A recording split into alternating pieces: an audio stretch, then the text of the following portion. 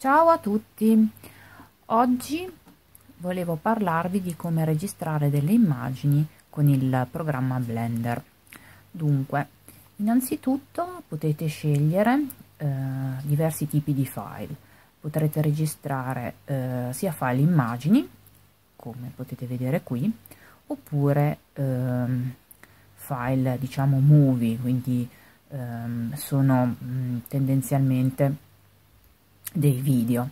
Uh, dopodiché uh, vi consiglio di andare sotto uh, l'ordine output e di cliccare qui eh, da parte. Ehm, potete salvare il vostro file dove vorrete. Io mi trovo bene sul desktop, quindi registro sul desktop e scrivere il nome. Dopodiché accettare. Io torno indietro perché ho già fatto questa operazione eccoci qua. Dopodiché eh, quello che vi resta da fare è semplicemente cliccare alt F3 e cliccare su questa eh, icona. Grazie a tutti per avermi ascoltata e ci vediamo la prossima volta.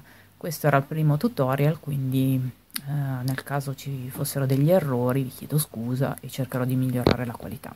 Grazie a tutti e buona giornata